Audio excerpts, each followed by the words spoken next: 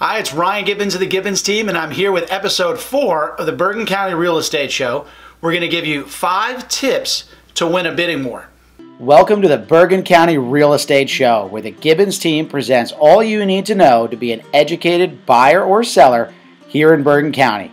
Be sure to subscribe so you can keep up with future episodes.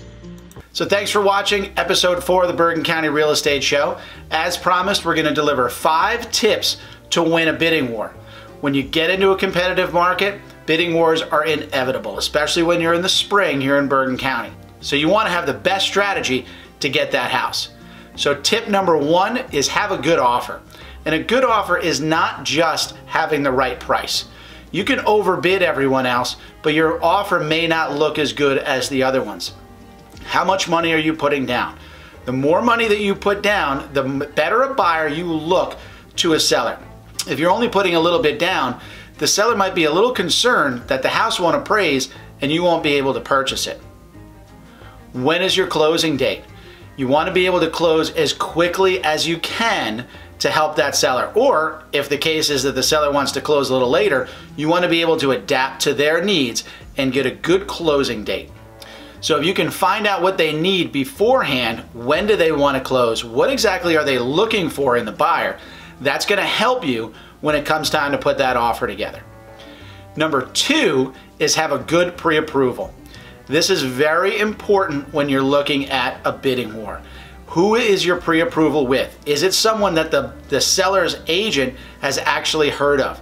So having a good, strong pre-approval is gonna help you when you're going against other offers. And another tip, it'd be getting a pre-commitment. And what that is, is going through the process, doing all of the loan paperwork before you find the house.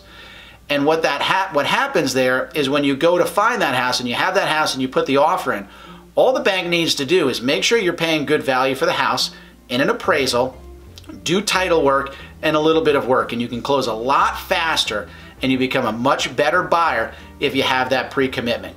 If you need a little advice on that, we can give you some information on who to contact and how that process works. Now this one can be tough if you're, if you're a home seller. Try not to be contingent on selling your home. I know it's not always possible if you have to sell that home to get the equity out to buy your next home, but that's just another step to get you to becoming a better buyer. So if you don't have to sell your home, if you can have your house sold already, or if a lender will allow you to purchase and then sell your home, you become a better buyer to those sellers. So try not to be contingent on any factor when you're working in a bidding war. Number four is write a letter to the homeowners. I've had great success with some of my buyers using heartfelt letters about how much they love the home, how much they always wanted to move back to that town, how they're going to be near their parents or family, or they really want to get into that great school district.